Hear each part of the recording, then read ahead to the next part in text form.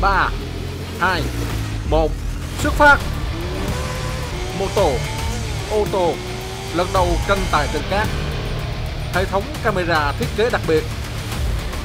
Và những tiết mục giải trí bùng nổ. Đón xem truyền hình trực tiếp thử thách địa hình màu trắng HTV Challenge Cup 2023 các ngày 1, 2, 3 tháng 12 trên các kênh sóng và hạ tầng mạng xã hội của HTV.